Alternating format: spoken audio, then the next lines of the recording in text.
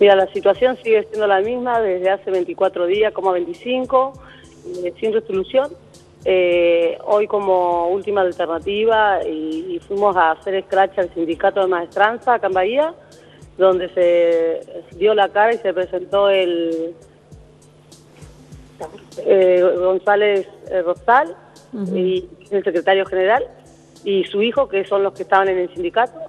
Ellos dicen de que eh, cometieron un grave error en dejarnos a la deriva y que, bueno, que ahora quiere revertir la situación, que va a venir en apoyo y tocar todas las empresas, demás empresas de limpieza para reacomodar a los desempleados. Bien, bueno, este apoyo que están recibiendo, ¿desde parte de qué gremio, Alejandra? del gremio de maestranza, que es el gremio donde nosotros pertenecemos, pero todos estuvimos de acampes y estuvimos sin el apoyo del sindicato. El municipio nos ha ofertado eh, tomar 10 personas y quedar los otros vacantes, donde hoy, hoy fueron las personas que fue, fue elegida por nosotros mismos, los compañeros, por edades, necesidades extremas y enfermedad. Por ahí hay muchas personas que están enfermas, que es lógico que si no entran, digamos, eh, digamos como acomodo, no entraría en ningún lugar. Este, bueno, este nos ofrecieron desde el municipio planes sociales, eh, modo tributista.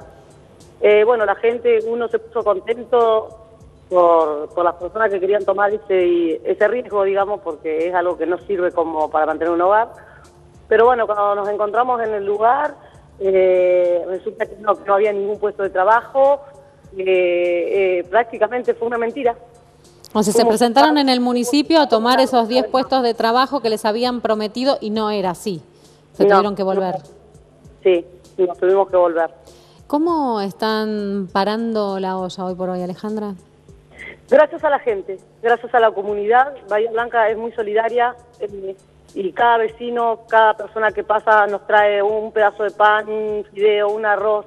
Eh, sindicatos eh, fuera del nuestro que ha venido en apoyo, que nos consiguen alimentos, garrafa, hasta dinero.